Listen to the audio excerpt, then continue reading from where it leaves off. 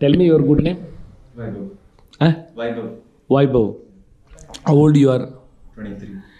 You are from which place? Um, Chikmagalur. Chikmagalur. Okay. So what problem you had?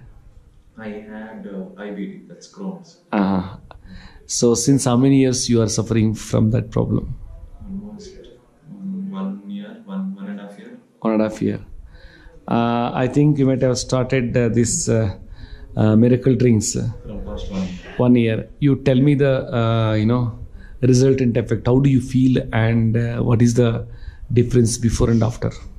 I feel the energy levels are high. Mm. And uh, before before the before miracle drinks, I could not eat properly. Mm. So after miracle drinks, I, I do feel hungry. Hmm. And then my food intake is also more.